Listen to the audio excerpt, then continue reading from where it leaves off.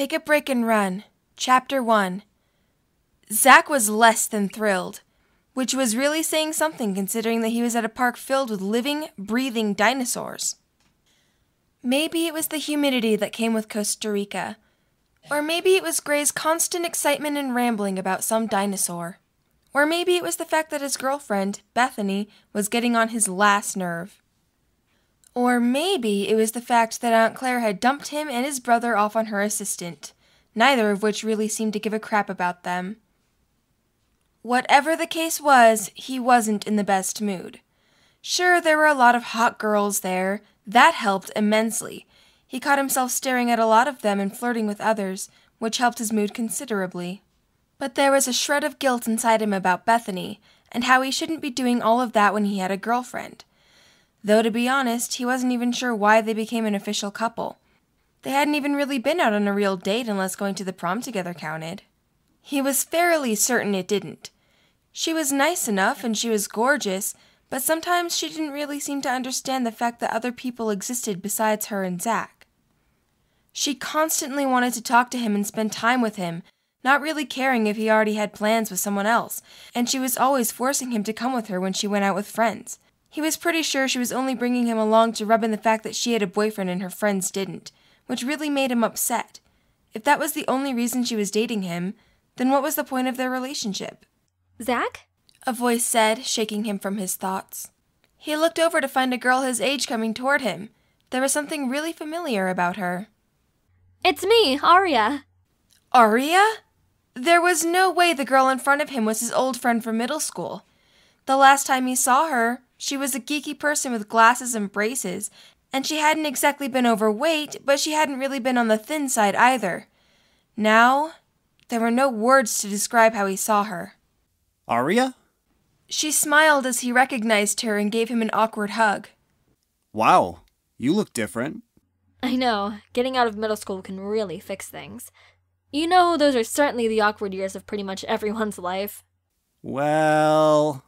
You can say it. I looked like a total nerd. But I got my braces off and decided to get contacts, and I joined a gym.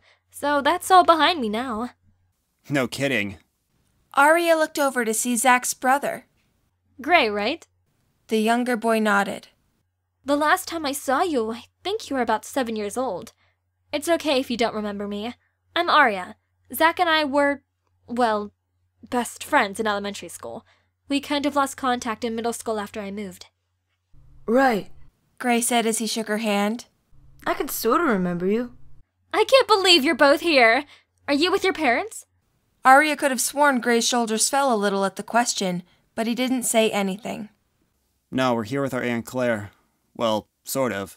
She dumped us off on the assistant, Zara. Aria looked over to find a woman with long black hair talking on her cell phone. She looks professional. Exactly. Mom said it was a family weekend. Zach said, putting air quotes around family weekend. But so far, we've only seen Aunt Claire for about 60 seconds. Oh, well, hey, my friends have to go back to the resort, so can I hang with you? I'm not exactly ready to call it a day yet. Sure. Zach let a shadow of a smile cross his face. Maybe the trip wouldn't be too bad. He looked back at Zara and saw that she was distracted. Scatter. What? What?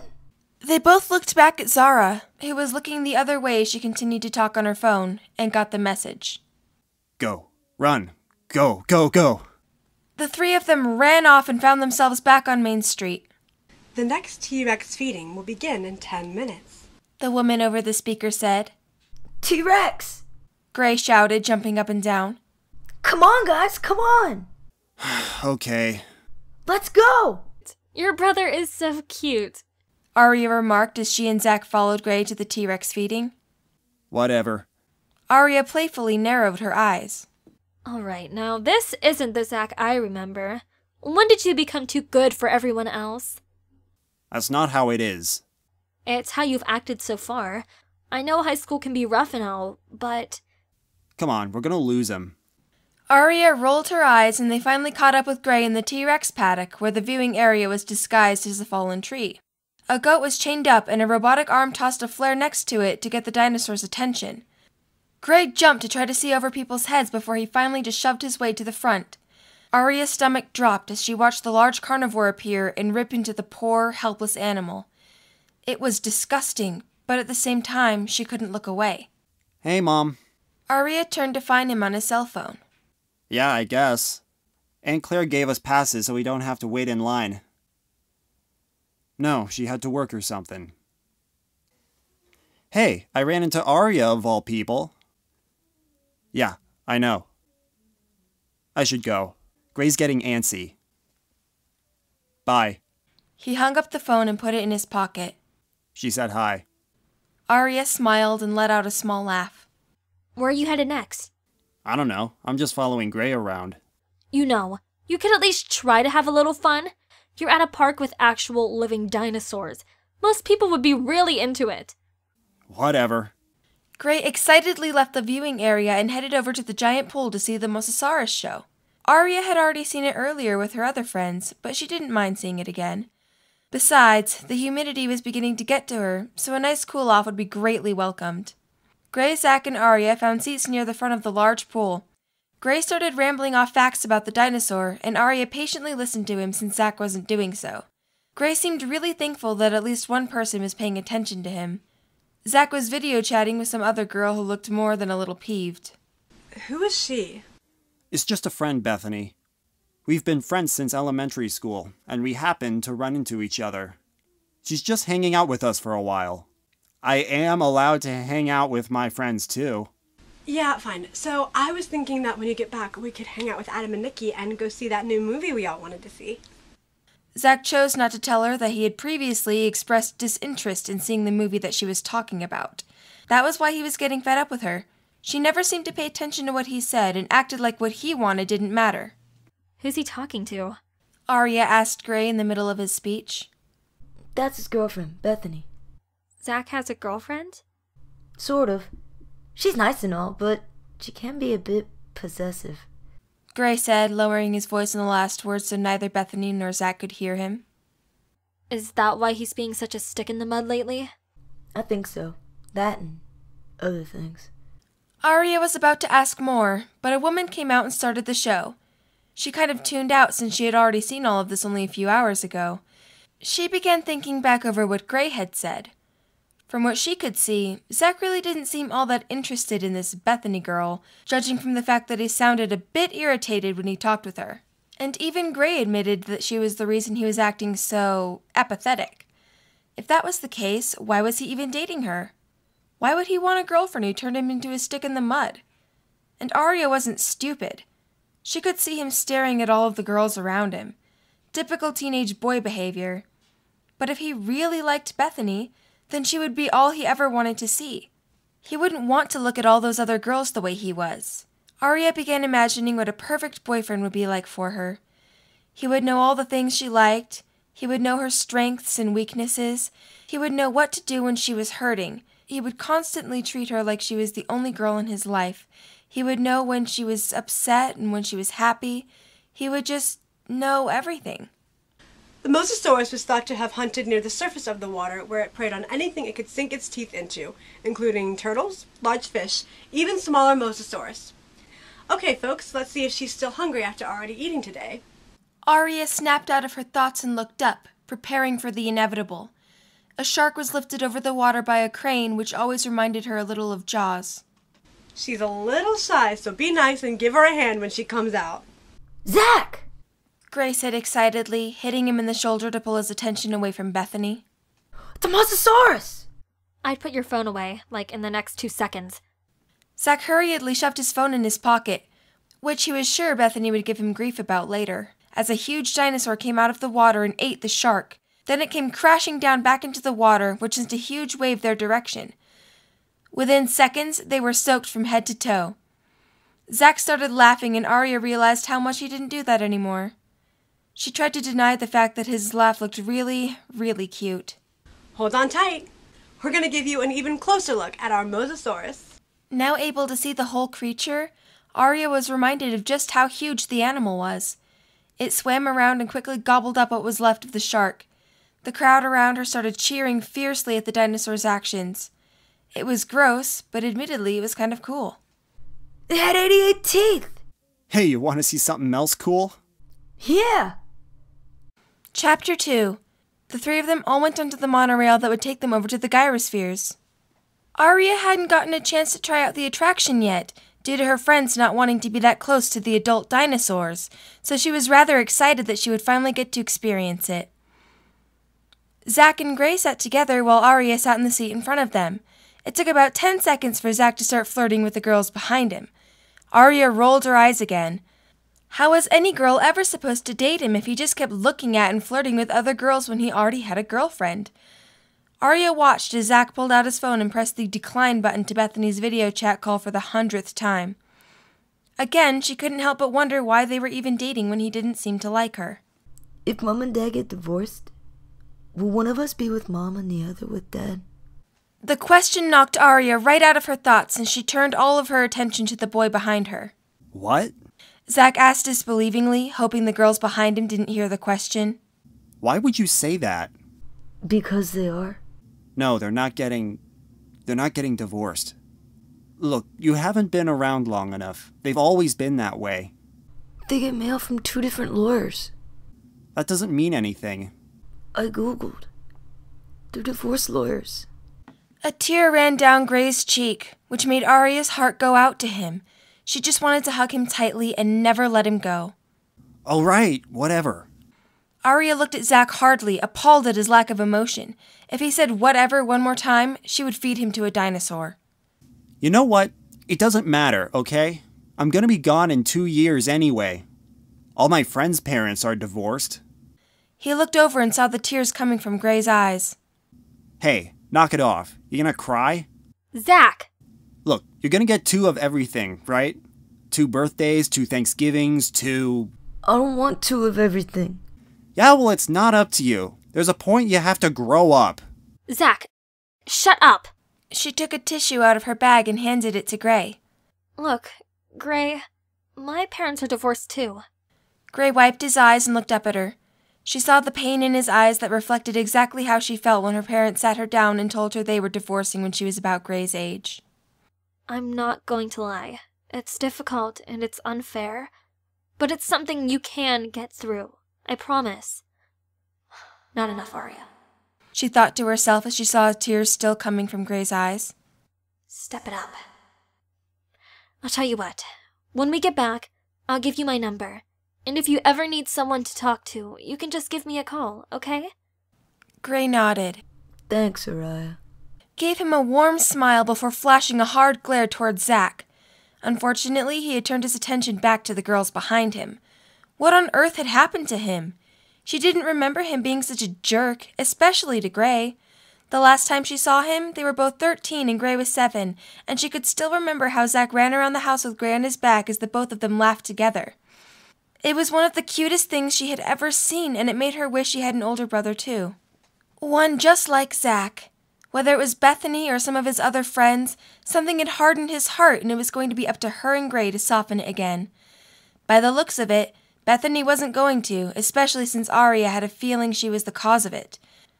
Thanks to their wristbands, the three of them were able to get up to the front of the line. Aria felt a little guilty when she heard people not so discreetly grumbling behind her, but she got over it when she remembered why she had the special privilege in the first place. The soft tissue is preserved because the iron in a dinosaur's blood generates free radicals. And those are highly reactive. Gray rambled as they waited for the next available gyrosphere. The proteins in the cell membranes get all mixed up and act as a natural preservative. DNA can survive for millennia that way. Even if the amber mines dry up, they'll still have bones. Shut up.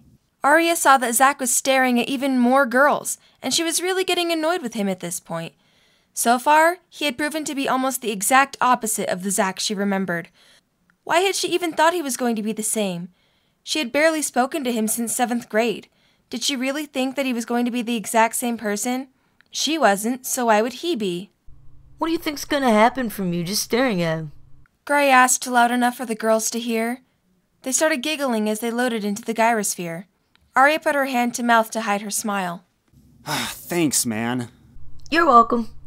Aria smiled at Gray and fist bumped him behind Zach's back. How many? The ride operator asked as if he would rather be mauled by one of the dinosaurs than be working. Three.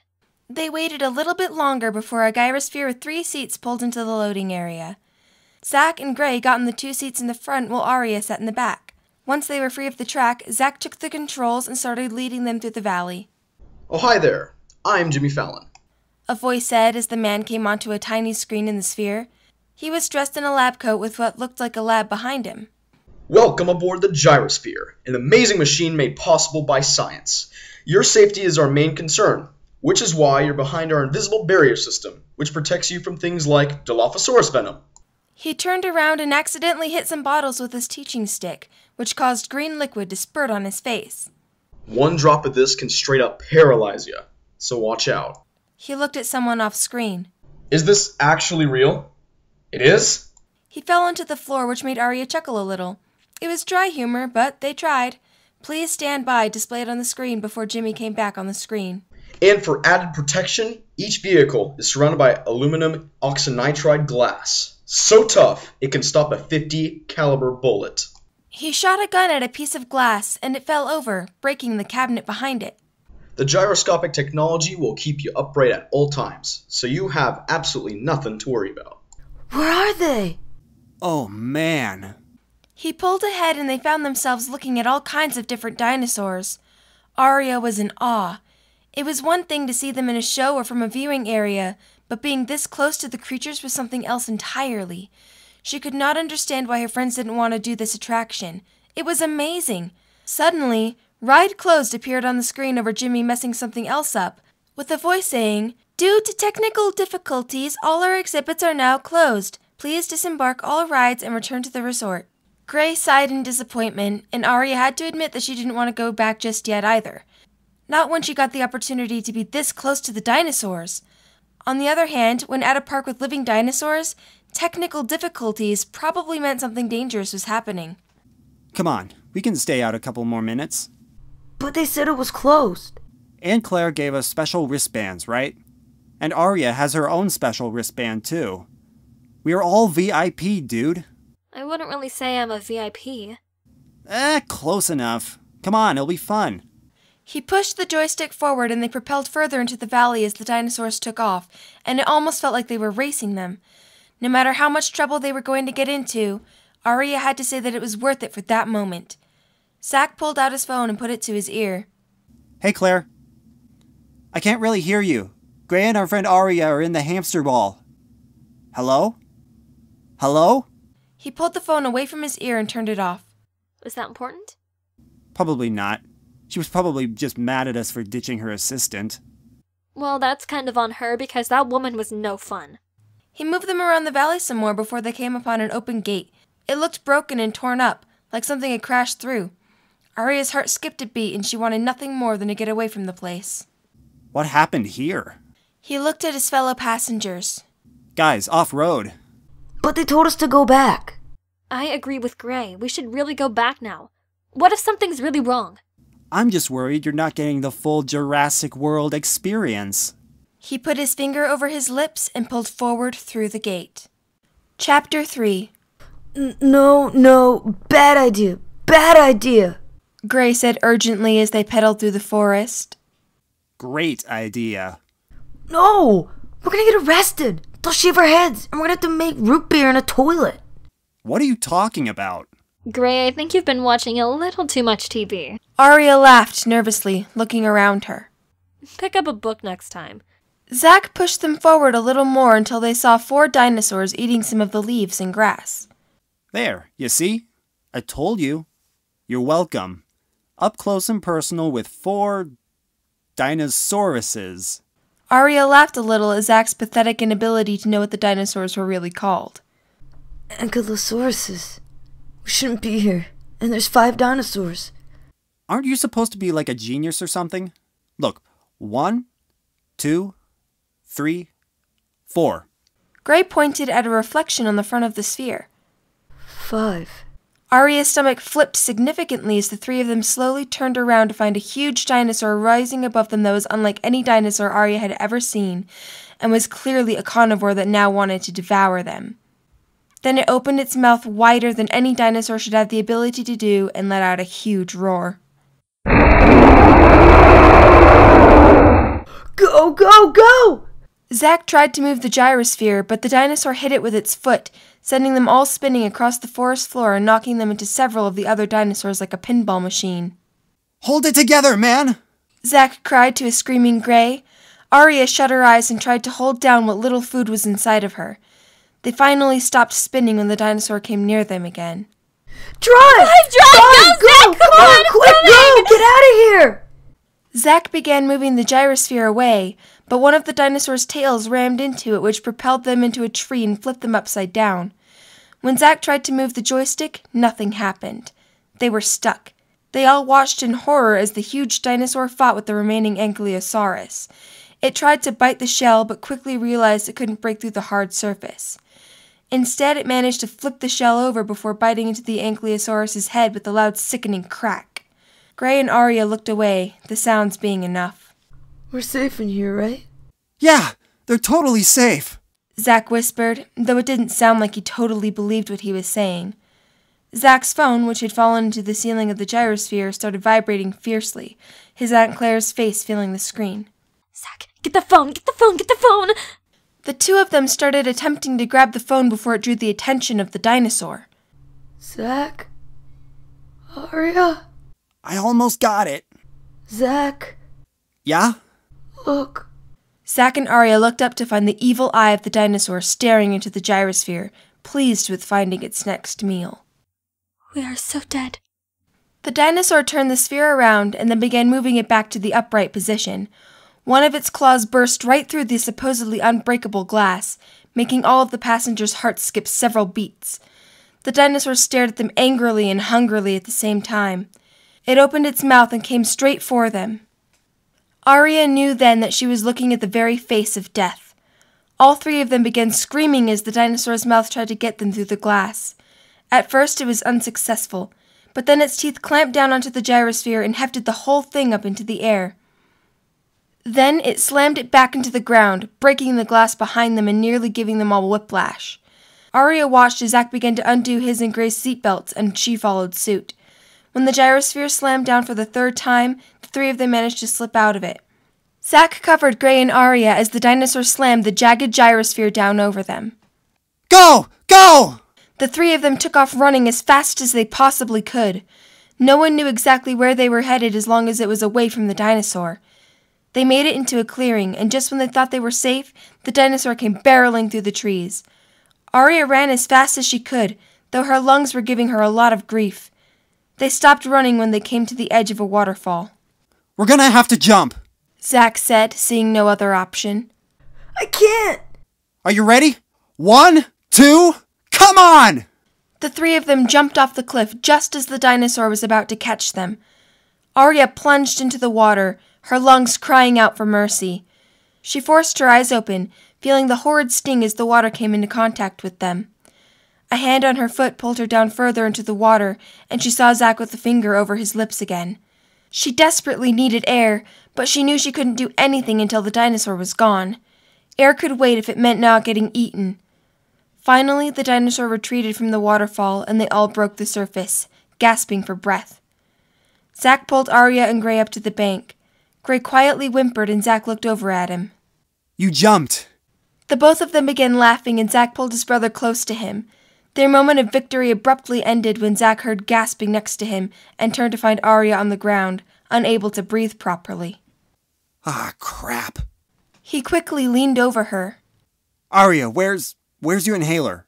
It's in my bag, back there. Dang it. Okay, Aria, you've been through this before, all right? Set up. He gently helped her up off the ground and got her into a sitting position. She was gasping heavily for breath, and he knew that he had to do something soon if he wanted her to live. Take my hands. Aria grabbed onto Zach's hands and squeezed them so hard they started shaking, but he didn't even notice the pain. Focus on your breathing, okay? Close your eyes and think of yourself on the beach with the gentle ocean behind you and the warm sand beneath you, okay? Now, breathe with me. Zach began breathing slowly for her so she could copy his technique. It took some time, but eventually Aria was able to get her breathing back to a somewhat normal pace. It would have to do until she could get some kind of medication. When Aria opened her eyes again, she realized how close Zach was to her. Their foreheads were almost touching. In fact, they were actually close enough to. Good. Zach said, shaking her out of her moment. Come on, we have to keep moving. He helped her stand up, and the three of them began making the trek to somehow get back to the park. Chapter 4 Claire's breathing picked up at the sight of the shattered gyrosphere. If anything happened to those boys. She nervously climbed out of the Jeep and watched Owen pry a huge tooth the size of her hand out of the broken machine. Her heart sank when she saw Zach's shattered phone. No, no, no. No. That was it. She was officially the worst aunt ever. She let her nephews get killed by a hybrid dinosaur. How was she ever going to explain this to her sister? Hey, Owen said to her. He pointed out three sets of footprints. they made it out. She breathed a sigh of relief. No need to plan the eulogy yet. Who is she kidding? If they died, there was no way Karen would ever let her attend the funeral. Owen looked around a little more and found a small bag at the base of a nearby tree. This can't be either of theirs. Owen said to Claire, taking note of the feminine quality of it. I. I think Zach said there was someone with them. Um. Aria. Well, if this is hers, then she's in trouble. Owen pulled out an inhaler, and Claire realized that Aria must have asthma. Owen tucked the inhaler into his jacket pocket in the hopes that he would find the kids alive and could get Aria her medication. The two of them followed the tracks and found themselves by a waterfall.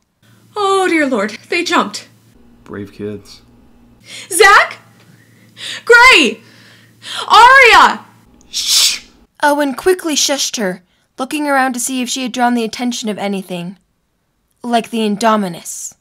Hey, I am not one of your stupid animals. Claire barked, losing her patience with the man. Listen, those kids are still alive, but you and I will not be if you continue to scream like that. So, you can pick up their scent, can't you? Track their footprints? I was in the Navy, not the Navajo. So then what should we do? What do you suggest we do? You get back, I'll find them. No, we'll find them. You'll last two minutes out there. Less in those ridiculous shoes. Claire gave him a pointed look before undoing her white button up shirt, revealing the purple tank top underneath. She tied it in a knot at the bottom and then rolled up her sleeves and placed her hands on her hips. What, was that supposed to mean? Means I'm ready to go. Okay, let's get one thing straight. I'm in charge out here. You do everything I say exactly as I say it. Excuse me? Just relax. It's just like taking a stroll through the woods. 65 million years ago. Claire plowed ahead of him, and Owen released a puff of air through his cheeks, trying to remind himself why he ever went on a date with that woman in the first place. As Zach, Gray, and Aria trekked through the jungle, all of them were constantly checking behind them every three seconds, fearing the dinosaur would be back for them. Aria could feel Zach's eyes on her as they walked, worried she might have another attack. It was nice that he cared about her. She couldn't get her mind off how she felt when he was helping her during her last attack, or at the fact that she felt elated that he had been so close to her. As much as she tried to push those thoughts away, knowing he had Bethany in his life, they kept forcing their way in. The thing was, it wasn't the first time he helped her with an attack. She had had them a lot more frequently when they were in elementary school, and she coached him on what to do when she had her inhaler and when she didn't. Each time he was there to help her. So what was so different about this time? Gray suddenly ran ahead of them and picked up a white worker hat. When Aria got closer, she realized that the hat was caked in blood and had a massive crack in it. It was pretty safe to assume that the owner of the hat wasn't alive anymore. Zach rushed forward and took the hat away from a frightened Gray. A little ways ahead of them, they noticed a Jurassic World Jeep that had been smashed against a tree. Stay here. Yeah, right. She and Gray both followed Zach over to the Jeep. It was completely torn up and more blood was on it. Whatever had gone on here certainly had not been good. It had to be a result of the dinosaur that had attacked them. What other explanation was there? Zach looked up, and when Aria followed his line of sight, she saw a heavy door up ahead of them. They all went up to it and forced it open. Inside, Overgrown plants and vines were everywhere, which made it hard to tell what part was inside and what part was outside. Wow. They looked around them at the building lost to the rest of the world. Zach picked up an old bone, and then his foot went across a piece of a banner. This must have been part of Jurassic Park. Aria put together what she saw on the sign. This is insane. I mean, we're actually standing in one of the original buildings. Zach picked up a part of the banner and looked at Gray. You still have those matches? Gray opened his pouch and pulled out a matchbox. Here you go. I will never be mad at anyone for being overprepared ever again. Zach lit up his makeshift torch, and they traversed deeper into the abandoned building. They ended up coming across an old picture of raptors painted onto the wall. Gray and Aria stared at the picture, wondering what it was like for the group of people who had been brought in to experience the park before it opened. Aria hadn't been born at the time, but she had learned of the story of the unfortunate people who had suffered an awful fate at the original unopened Jurassic Park. There was a group of paleontologists and two children who were sent out to test the park. Long story short, it hadn't gone well for anyone, staff included. It seemed that history was about to repeat itself. Gray, Aria, Zach called, breaking Aria out of her thoughts. The two of them followed Zach, and they all ended up in a garage with various worn Jurassic Park tools and a couple of old Jurassic Park Jeeps. A 1992 Jeep Wrangler Sahara. Sand beige. You really know your stuff. Zach looked over at his brother. you remember when we fixed up Grandpa's old Malibu, right? Yeah. You can't be serious. You guys can get one of these started? It's our best bet right now. Zach and Gray started working on the truck by finding what they needed around the garage. Zach, can I talk to you for a second? Sure. Zach and Aria left the garage so they could get out of Gray's earshot. Once they were alone, Aria slapped Zach hard in the face. You're an idiot! If you had just gone back like they told us to, none of us would be here right now. When Zach started to say something, she held up her index finger. No, let me finish! That being said, if a freaking dinosaur attack is what takes him in the awful relationship with your brother, then so be it, because it's not like I can change it now. What are you talking about? Gray and I don't have an awful relationship. Um, did you not hear anything you said to him on the monorail? He was worried sick about his parents divorcing, and you just made it ten times worse. I did not. Zach, couldn't you see how worried he was about losing you? Zach opened his mouth to answer her, but closed it again when he couldn't think of anything to say. His first question was about the possibility of you two being separated. And to put salt in the wound, you yelled at him for crying and told him that you would be gone in two years anyway. I just. I just had to jump in and say something to comfort him before he completely lost it. Zach, don't you remember my parents going through their divorce? All too well. Aria's parents getting divorced was his first introduction to the whole act. He couldn't understand why parents would want to separate from each other. Who knew that he would be in the same situation just a few years later? I was about Gray's age, and I spent almost all of my time at your house to get away from that. It's not an easy thing, and I didn't have any siblings to help me get through it. Gray needs you now more than ever. Aria started to walk away from the speechless Zach. Then she turned back to him, her face much softer. Oh, and by the way, thanks for helping me back there. You've still got it. The two of them then headed back to the garage to continue fixing up the Jeep. What did you guys talk about? Gray asked Aria. She smiled at him. Just teenage stuff. The two boys began fixing up the Jeep as Aria watched, helping whenever she could. Occasionally, something would crunch, and all three heads would snap in the direction of the forest, hearts pounding. No one wanted a repeat of their dinosaur attack. You think it's out here? After seeing Gray's terrified look, he added, I mean, I know for a fact that it's definitely not out there, alright? We're totally safe. He handed his little brother a car battery. Here, take this. You're stronger than me. Aria smiled. There was the Zach she remembered. She knew he had been in there somewhere. It just took a little, if a dinosaur attack could be considered little, coaxing to get him out. Eventually, the humidity and the exertion from fixing up the Jeep forced Zach to take off his sweatshirt. Aria tried not to stare at his defined muscles. Had they always been there?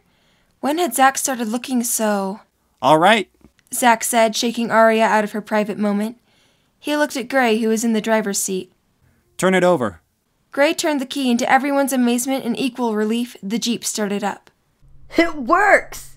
Zach and Aria laughed together as Zach flipped the hood of the Jeep down and hopped into the driver's seat while Aria got into the back. I thought you failed your driver's test. No, only the driving part. Wait a minute, what? You failed the driving portion? I'm gonna die. I survived a dinosaur and an asthma attack, and now I'm gonna die. Always the overdramatic one, aren't you? Just get us back to the park without killing us. With that, they pulled out of the garage and prayed they didn't run into any unfriendly creatures. Chapter 5 They approached a closed gate with a worn out sign, warning people that the gate had 10,000 volts charging through it. It was safe to say that this was not the case anymore, as the gate was covered with vines. Zach forced the Jeep through the doors in the gate, and both boys started laughing when it actually worked. Okay, that's it. We're safe now. Gray looked behind them, and Aria followed his line of sight. Many pterosaurs were flying above the trees, heading straight for the park. Not yet, we're not. Go, go, go!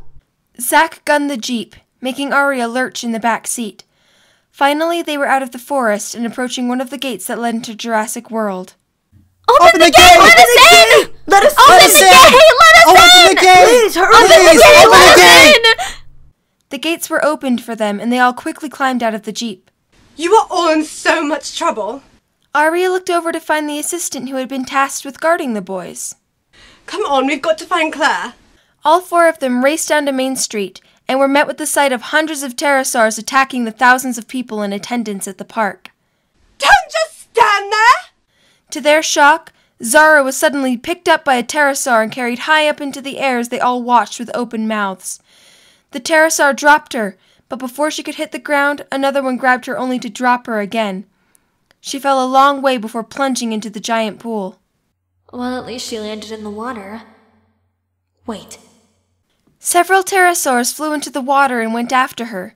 One of them grabbed her in its mouth, plunging her in and out of the water. Then the mosasaurus leapt out of the water and guzzled Zara and the pterosaur before plunging back in. The three of them stood by the pool, trying to process what had just happened. Go, get inside, now! Zach yelled, forcing Gray and Aria to leave the pool. They all started running through buildings and streets in an attempt to find Claire. Suddenly, Aria felt a sharp pain in both her shoulders and her feet were no longer touching the ground. She began screaming, hoping not to suffer a fate like Zara's. The two boys spun around to find Aria squirming in a pterosaur's grasp. Aria! The pterosaur dropped her on the ground and began sinking its talons painfully into her back as she continued to scream. Zach took a chair that had landed near him in all the chaos and whacked the pterosaur with it over and over again until it had released Aria. Then he grabbed her hand and quickly hoisted her back up. She could feel his arms clamped firmly around her waist protectively as her arm went around his neck. For a second, she just let herself indulge in the feeling of being in someone's protective embrace. Aria's lungs were beginning to really hurt again, but she tried her best to press on. She had to unless she wanted to get killed. Hopefully, she could find some kind of medication somewhere to help her breathe easier. The three of them began running again, still trying to find Claire. At the sound of loud screeching, they turned to find an absolutely huge pterosaur approaching them. Zach dove to the ground, taking Aria and Gray with him. The pterosaur fell onto the ground after being hit with several bullets from the staff and started sliding towards them. Zach backed them up and placed a protective arm across Gray's chest. The beak stopped within just a few inches of hitting them. They once again took off before Zach slowed and looked ahead of them at a woman with red hair and a dirty white shirt and skirt on. She was firing a gun at a freakish looking pterosaur that was aggressively trying to chew a man's face off. Is that Aunt Claire? That's your Aunt Claire. She's definitely a lot different from how I pictured. Claire helped the man up off the ground, and he firmly kissed her on the lips. Aria placed her hands over Gray's eyes. The woman looked over at them, and relief flooded her face. Zach! Gray! She screamed as she ran over to them, taking Gray's head in her hands. Thank God! What happened? What is this? Are you okay? Where did you go? Why didn't you come back? I was so worried about you. Who's that? Zach asked, referring to the man she had just been kissing. Claire awkwardly straightened her posture. We work together. He's hot. Aria said out of earshot of him. Well done. You must be Aria. Hey, we gotta go. Okay, come on. Come on, come on. Claire ushered them all back to where most guests weren't allowed. Claire's cell phone rang and she quickly answered it. Lowery, I'm on my way back to you. What do you mean, use the raptors? At that, Owen's face contorted to one of intense anger. They watched several helicopters fly above them. Take the kids. Get them someplace safe. Claire didn't have time to do anything before the huge door that kept people out was forced open and a mob of people flooded into the small passageway, all of them trying to escape the attacking pterosaurs. The group ran toward an abandoned Jurassic World Jeep and climbed in before they all got trampled. Owen sat in the driver's seat while Zach, Aria, and Gray got in the back with Aria in the middle. You got this! You got this! Drive! Owen floored the gas and put the Jeep into reverse. Then he backed the Jeep up until he managed to get it into a small nook where it was out of the way of the throng of panicked people. This does not feel safe. Can we stay with you? I am never leaving you as long as you live. No, no, no. Him. Gray said, putting his hand on Owen's shoulder. Yeah, definitely him. Aria began gasping again as her lungs constricted tightly. Surviving one asthma attack without her inhaler was a miracle. How was she ever going to get through two? Here.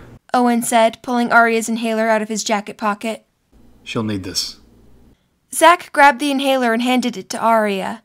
As he grabbed her hand, she took a few puffs of the medication and felt her breathing slowly begin to get back to normal. It didn't take her long to realize that Zach's hand was still holding on to hers. Chapter 6 Owen drove the Jeep to a place where he did all his work to confront whoever had made Owen angry when Claire had been on the phone. He stopped the car, and both he and Claire exited looking more than ticked off. They approached a man with salt and pepper hair and a smug smile on his equally colored, bearded face. Without a single word, Owen punched him hard in the jaw, which caused all the passengers still in the car to start laughing. Aria couldn't stop thinking about everything that had happened since she met up with Zach earlier that day. She remembered learning about Bethany and then envisioning the perfect boyfriend for her. She thought about how Zach helped her with both of her asthma attacks, gripping her hands and calming her down. He knew exactly what to do to help her. And she couldn't get over the fact that she was starting to feel, well, like she wanted to be more than friends. The problem was that he already had Bethany.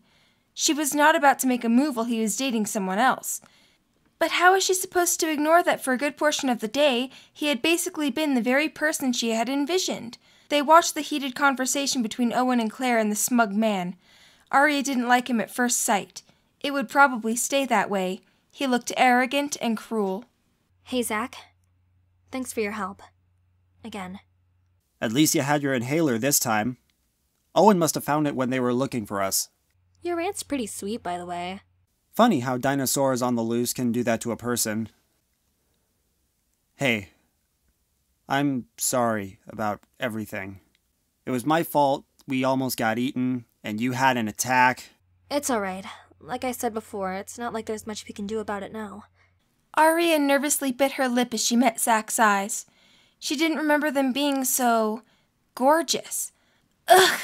Why did he have to get so different all of a sudden? Things were simpler between them when both of them looked like middle school dorks, and there was absolutely no attraction between them. Zach had done nothing for nearly the whole trip but realize how beautiful Aria had become since he had seen her last. Sure, she still had asthma attacks, but considering what she had gone through over the course of the day, it was completely understandable. He remembered being terrified when she was caught without her inhaler. It wasn't the first time that had happened, but it didn't mean that it couldn't be fatal. All he could keep thinking about was that if she died, it would be his fault because he hadn't returned the gyrosphere when they told him to. When he held her hands in an attempt to help her get over her attack like he had done before when they were kids, he felt something click inside of him, something he had never felt the entire time he had known Bethany. It was at that moment that he decided that Aria was more to him than just a friend. In fact, he had the full intention of setting the record straight with Bethany once he could get in contact with her again, and let her know that he wasn't pleased with how controlling she was and that they had never really talked about being boyfriend and girlfriend. To him, they were not a real couple. Will you guys just kiss already? Gray thought. He chose not to say that out loud, even though the chemistry between them was overwhelming.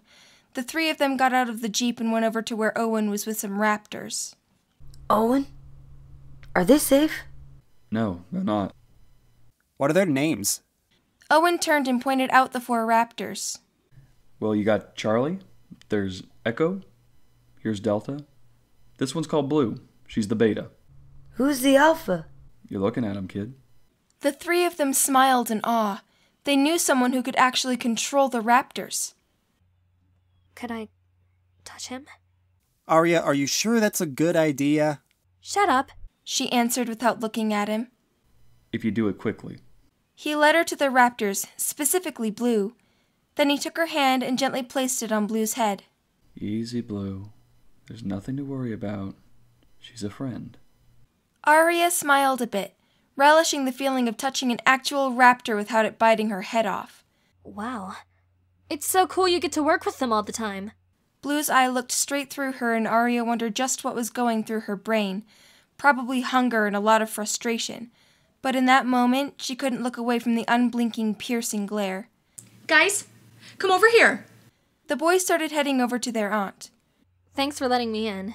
And, uh, thanks for finding my inhaler. Sure thing. Be on the lookout. This thing isn't over yet. Aria nodded and went over to where Claire and the boys were. Claire opened the back of a huge Jurassic World truck. See? Totally safe. She said, peering inside. All right, get in. Come on, get in there. Zach, Aria, and Gray all hopped into the truck. There were only two seats, so Zach and Gray took both of those while Aria just sat on the floor near them. If you need me, I'll be right up front. Just open that window. She pointed to a closed window behind Zach and Gray. Okay? Put your seatbelts on. Zach and Gray looked for seatbelts but came up empty while Aria kind of looked at Claire since she didn't have a seat, much less a seat belt. Okay, so just, uh, hold hands. Gray held out his hand for Zach to take, which made Aria smile. Aria felt kind of bad for Claire. She must have been having a really tough day. She had almost lost her nephews, and judging from her appearance, her time in the jungle had not been a walk in the park. Not to mention that after all this was over, she was basically going to be out of a job. Suddenly, the distant sound of a dinosaur screeching abruptly brought everyone out of their thoughts. Nothing's getting in here, right?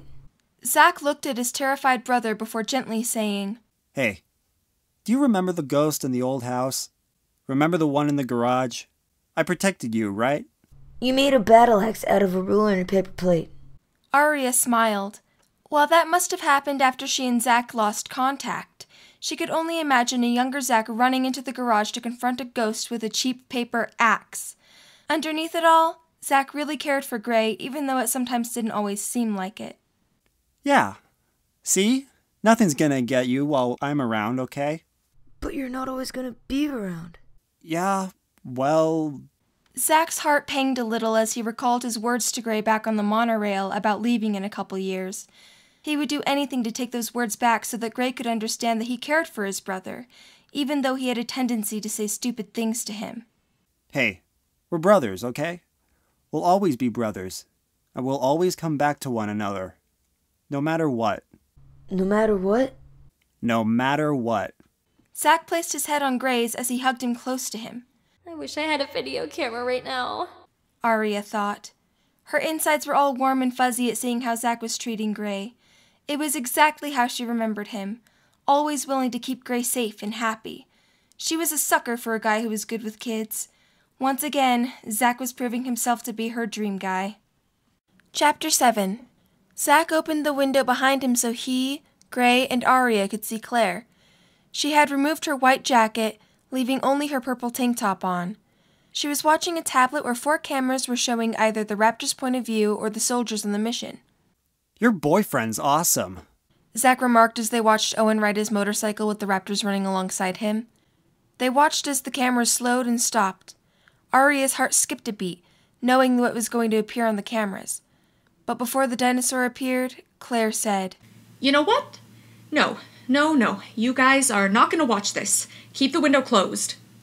She closed the window, despite all their protests.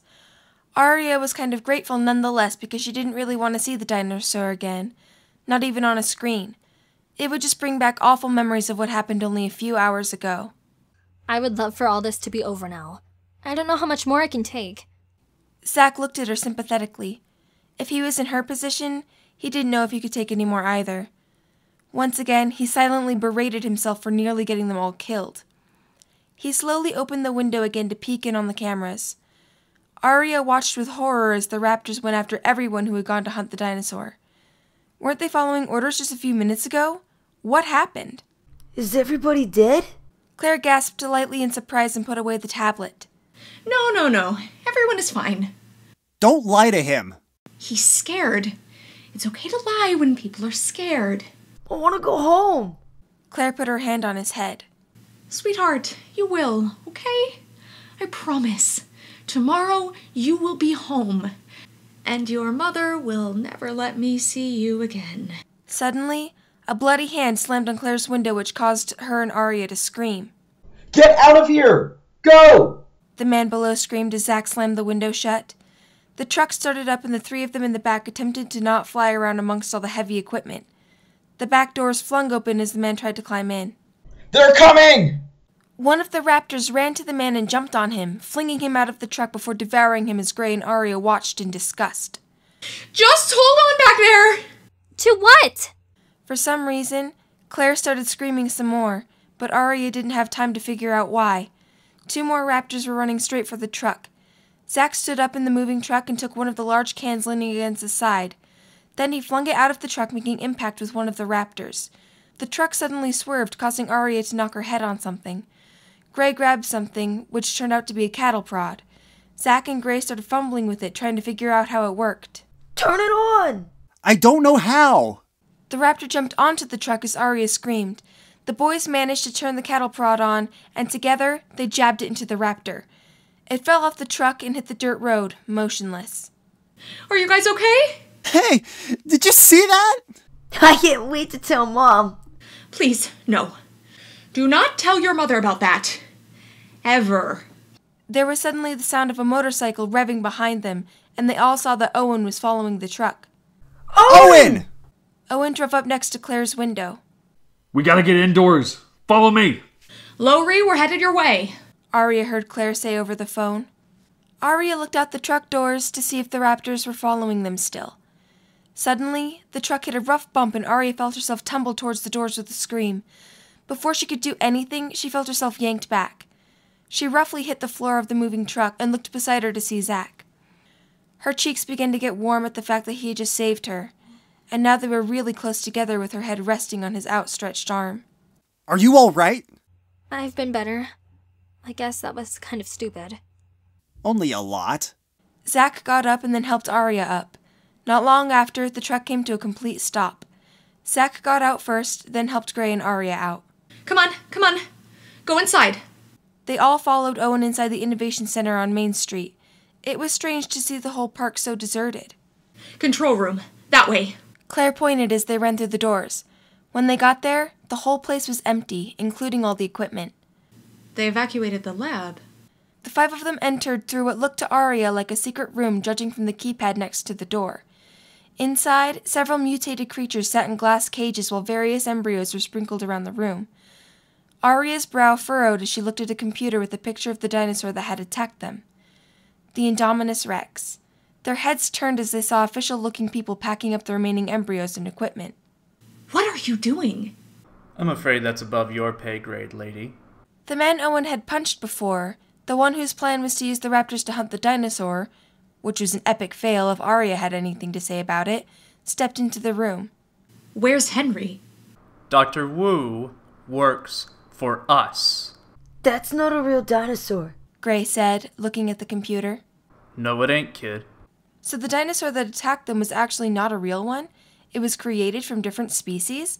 Clearly, that had been a stupid idea. She almost died because of that. But somebody's got to make sure that this company has a future. Imagine that one, a fraction of the size, deadly, intelligent, able to hide from the most advanced military technology, a living weapon unlike anything we have ever seen. This guy was nuts. You see, millions of years of evolution, what did we learn? Nature is the gift that just His overdramatic speech was cut off by one of the raptors leaning into the room. Owen quickly pushed everyone back, shielding them with his body. Zach put his arm tightly around Aria's waist. Hey, e- easy, e- easy, boy. The man said quickly as the raptor headed straight for him. Weren't all the dinosaurs in the park girls? Aria knew that and she didn't even work here. So not only was the guy nuts, but he couldn't remember genders. Easy. Hey. Hey. We're. We're on the same side, right? Right? He gently held his hand out, trying to copy Owen's technique. Easy. Easy. I'm on your side. The raptor looked at his outstretched hand and quickly sank her teeth into his arm, much to Aria's horror. Owen ushered them all out of the room with the man's screams ringing out behind them as the raptor devoured him. Zach's hand clutched Aria's as they made it out to the main hallway. No, guys, this way! Claire said, leading them in one direction. However, the raptor crashed through the glass, which forced them all to turn around and run the other way. They ran back the way they had come towards the main doors of the Innovation Center. Gray pulled up a hologram of a Dilophosaurus as they ran past the console. It was just enough to distract the raptor and give them enough time to get out. As they ran down the steps, they all froze as another raptor stood in front of them. The one chasing them came through the doors behind them, and yet another came up beside them. Zach pulled Aria closer to him as they all waited to be mauled. Well, if she was going to die now, at least it would be in the arms of someone she had feelings for. Bethany would love that. Chapter 8 That's how it is, huh? Owen said to the raptors. He set down his rifle, as much as Aria wanted to protest, and walked towards the raptor in front of him. Easy. Easy. He put his arm out, and Aria half expected for the raptor to chomp it off like the other had just minutes before. But to her surprise, the raptor allowed Owen to remove the headset that had been placed on her. That's it. Aria's heart skipped a beat as the raptor moved her head and looked straight at her. That must have been Blue. Aria met eyes with her, and for some strange reason, she didn't feel all that scared. That is, until the Indominus roared loudly and appeared at the end of Main Street. Aria began breathing shallowly, and she felt Zach's hand around her tightened even more. The Indominus approached them and began speaking what sounded like raptor talk. Blue looked at the Indominus and then back at Owen and Aria. It looked like Blue knew who she wanted to follow. Blue turned back around and screeched at the Indominus. The Indominus roared in anger at the change of allegiance and flung the raptor into a pillar where she lay motionless. Aria's hand went to her mouth in surprise, sad that Blue was most likely dead. The other two raptors screeched at the Indominus in anger for killing their beta. Owen, realizing that they were still faithful to him, looked from one to the other, then let out a whistle. On command, the two remaining raptors ran to the Indominus and leapt on her, scratching her back with their claws.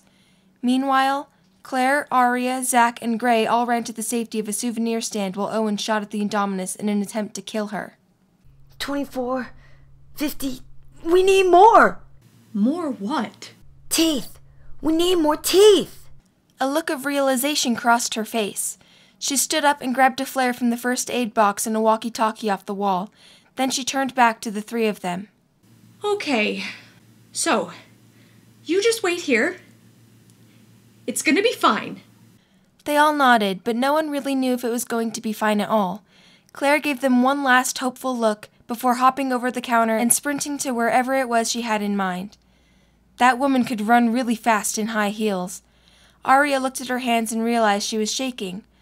Whether it was from fear, exhaustion, or the fact that she hadn't had anything to eat in a really long time, she didn't know. Probably all three. Over the counter, Aria saw one of the raptors get thrown onto an oven and burn up in a matter of seconds. As for the other raptor, she was willing to bet that the Indominus had killed her as well. Owen suddenly hopped over the counter with his finger over his lips. Aria put her hand over her mouth as the Indominus's sharp teeth came into view. Her head knocked into the stand and her arm shot through the wall. All three of the younger ones began screaming as Owen tried desperately to keep them away from the Indominus. He flung them to the opposite wall, as far from the claw as they could go. The claw began reaching for them as Aria clung onto Zach. Several times it came for them, threatening to take them away, but each time they managed to avoid the sharp claws. However, on the last time, one of the claws managed to hook into Gray's pouch around his waist. He began sliding towards the Indominus, but the other three held onto him as tightly as they could. Tears slid down Gray's cheeks, terrified for his life. Zach found the lock and unhooked Gray from the Indominus's hold. Aria could feel her asthma flaring up again, but she tried to force it back as best she could, knowing this was the absolute worst time to have yet another attack. Before the Indominus could try again, a T Rex smashed through some dinosaur bones and roared at the Indominus. The four of them stood up and watched as the T Rex and the Indominus went at each other, biting and scratching each other's neck as each tried to gain the upper hand. Oh, more teeth. The Indominus grabbed the T Rex on the throat and smashed her into the souvenir stand. Owen wrapped himself protectively around them while Zach wrapped himself protectively around Aria. Go! Owen cried, pushing them out of the hole made by the T Rex's head. Go! Go! They all ran out of the souvenir stand right as it got smashed by the two fighting dinosaurs. They ran over to Claire, who was hiding behind some of the rocks that had been put there for show. It was pretty much the only thing on Main Street still intact. Both dinosaurs were covered in scratches and bite marks that were dripping blood. The T Rex fell to the ground, and the Indominus leaned over her. This was it. Nothing could beat the Indominus Rex, and they were all going to die.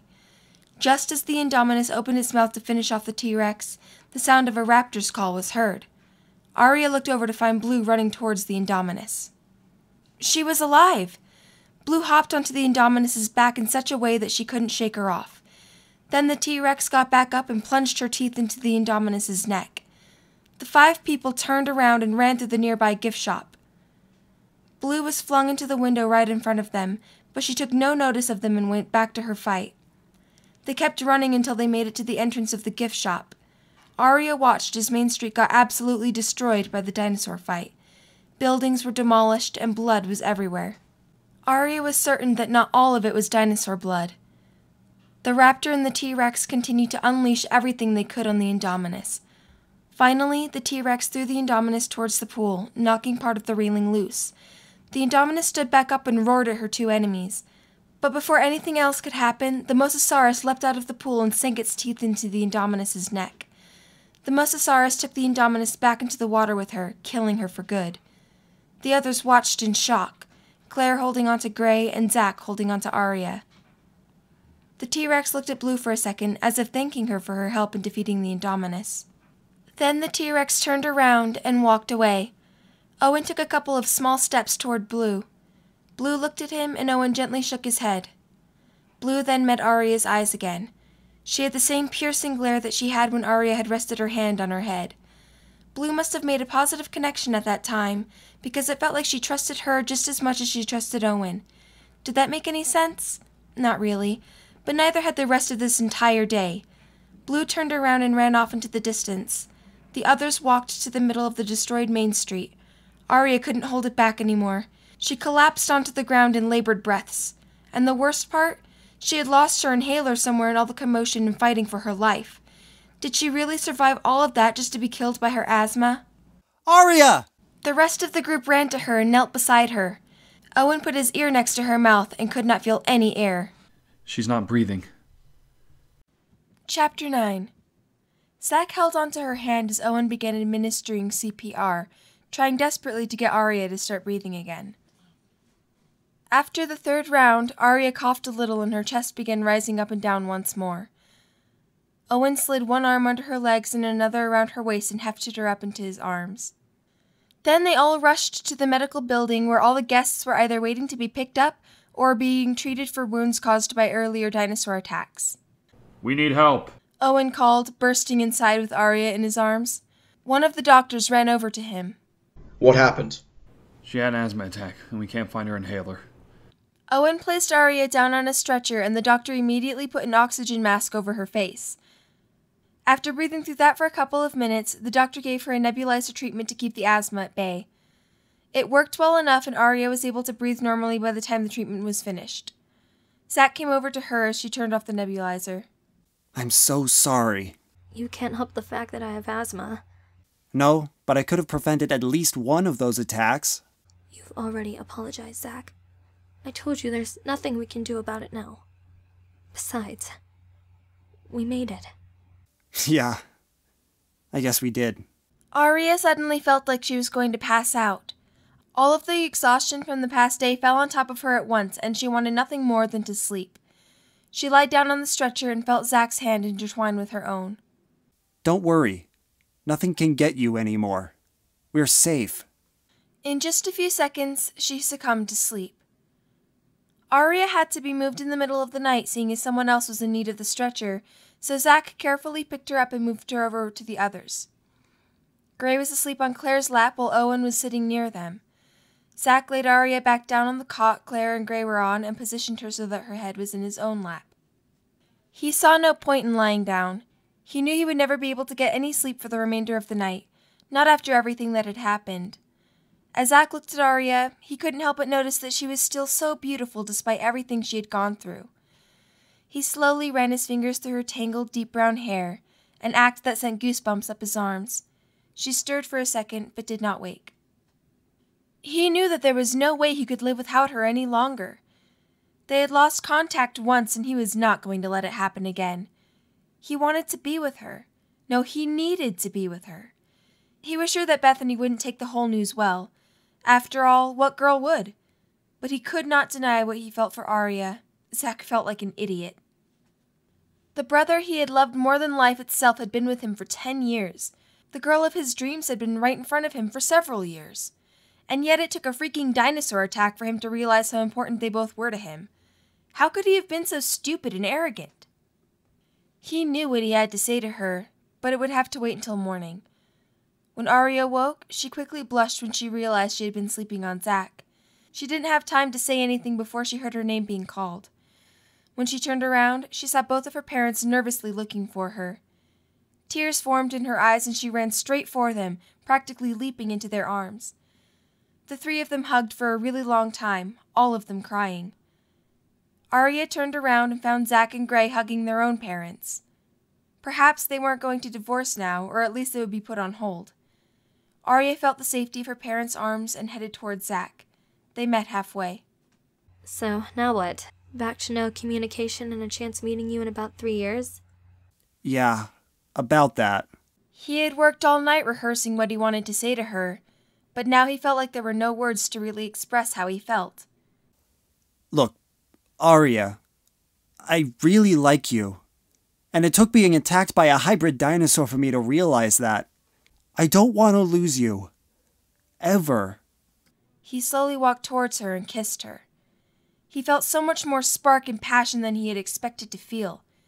Truth be told, he had never kissed Bethany before, and he was glad of it because he got to save that kiss for Aria. Aria couldn't have been more elated that Zach felt the same way she did, but she couldn't help but pull away from him. Zach, I want to be with you, believe me. But I can't do anything while you're with Bethany. Forget about Bethany. We're not even a real couple. At least not to me, we're not. She's too controlling, and she doesn't think about what others want. But you're not like that. That's why I like you so much. I believe you. I do. But if you do this to me while you're dating Bethany, how do I know you won't do this to another girl if you're dating me? Zach started to say something, but she stopped him. Let's face it, our adrenaline is pumping like fierce, and maybe we only feel this way because of everything that's just happened. I mean, we're only 16. We don't know what real love is like. But Aria. All I'm saying is that I want to give this a little more time. No dinosaurs chasing us, no adrenaline, and no Bethany. As much as Zach hated it, he knew that Aria made some really good points. It wasn't fair to Bethany for him to kiss and express desire to get into a relationship with Aria while he was dating her. And perhaps she was right, and they only liked each other simply because they had nearly died several times in the past 24 hours. Keep in touch with me, and we'll see what happens. Aria hugged him for a bit longer than she should have, considering everything that had just occurred between them, but neither of them cared in the slightest. As Zach watched her leave, he felt his heart tear a little, not knowing when he would get to see her again. Chapter 10 Three Months Later For three months, Zach and Aria had been in constant communication ever since the events of Jurassic World. All three of them, Zach, Gray, and Aria, began suffering from horrendous nightmares for weeks after they all made it back home. As a result, Aria was constantly over at their house, or, once Zach had finally passed his driving test, they would come over to where she was, either at her mom or dad's, depending on what week it was. Calls would be made at the other's house at three in the morning after waking up from another nightmare about a dinosaur, or in Aria's case, waking up and having an asthma attack from the panic she felt during the dream. At first, it was only a crying and terrified Gray calling Aria, but soon enough, Zach and Gray called Aria together, or she called their house and talked to the both of them. At their parents' prodding, they all went to see separate counselors to talk about their ordeal. It helped greatly, and, with time, the nightmares began to decrease. Unfortunately, Zach and Gray's parents put off the divorce only for a little while before they went right back to it. It seemed not even a dinosaur attack that almost caused the loss of their two sons was enough to get them to stay together. Perhaps if they had actually been there, it would have been a different story. Aria helped Gray through the process, knowing exactly what he was going through. She helped Zach too, but in a much more indirect way. The three of them were able to spend a few weekends with Claire and Owen, which was a much needed break for everyone. Claire had since become the model aunt, and her and Owen's relationship was constantly progressing. They always insisted that Zach, Gray, and Aria were more than welcome to come stay with them whenever they wanted, and the three of them certainly took them up on that offer. Their stays with the couple were something that everyone looked forward to. The first visit had taken some convincing on everyone's part, seeing as all of their parents weren't too keen on letting their kids stay with the people who indirectly caused the whole dinosaur outbreak in the first place. But eventually, they relented, and each visit was better than the one before it. Zach broke up with Bethany only a few days after he got back. Needless to say, she was furious with him. She ranted that she had called him a hundred times ever since she found out what was happening at the park, and how she'd come all the way to his house to make sure he was okay, only for him to dump her, and that she knew that the girl she had seen over video chat was more than just a friend, and how Zach was selfish and rude and didn't care about her feelings. Zach had let her yell to her heart's content, then proceeded to point out to her that they were never really an official couple to begin with, nor had they ever had a real date or even kissed once. He then pointed out that she had the tendency to be controlling a lot, which was the last thing he got out before she stormed away. To be honest, it was kind of a relief to be free of her. He knew that he couldn't just pick up the phone and ask Aria out, as much as he wanted to. He had promised himself that he would give her some time so they could both work out how they felt about each other. As he predicted, the wait was torturous. Every time she came over or he and Gray went over to her place, he felt his stomach lurch all over again, and he wanted nothing more than to just kiss her. It was even worse when they all went over to visit Claire and Owen. As much as he loved being able to get away from all of the yelling at his house and coming home to see more and more boxes packed up, he saw his aunt and her boyfriend together and it made him long to have the same kind of relationship with Aria. Owen had on more than one occasion given Zach advice on how to deal with his feelings for her. The whole thing also tortured Gray. It was completely obvious that the two teenagers were head over heels in love with each other, and he was just waiting for one of them to come out and say it. If no one did something soon, he was about to take care of it himself before he went crazy. Gray really liked Aria a lot and he looked up to her. She was so much better than Bethany in almost every way possible. He had never seen Zach so protective of anyone before, himself excluded. They were perfect for each other. Aria headed over to Zach's house one evening after feeling that she had been apart from him long enough. It had been a day and a half. Hey! Zach said with a smile as he opened the door. Hey, Mitchell. Aria greeted as she hugged him. Where's Gray? Out with friends. Really? Yeah, he's been hanging out with a couple of guys lately. That's really good news. I know he's always had a hard time making friends. What about your mom and dad? I think they're meeting with lawyers or something. Oh, I'm sorry. There was a bit of awkward silence before Zach said, Aria, Look, it's been three months, and I don't think I can put it off anymore. I still like you, and I have every day since we left Jurassic World. Every time I see you, I just want to pull you into my arms and kiss you. Aria blushed and looked up with a smile. I'm glad you feel that way, Zach. Because I feel the same. I just wanted to give you some space after you broke up with Bethany. And I needed time to decide if my feelings were real. And they are. They always have been. Zach took Aria's chin in his hand and leaned her head up before gingerly pressing his lips to hers. If possible, it was even better than their last kiss. They had been through a lot, and knowing Claire and Owen, there was probably more to come. But as long as Zach and Aria had each other with Gray by their side, they knew they could accomplish anything that was thrown their way. Absolutely anything.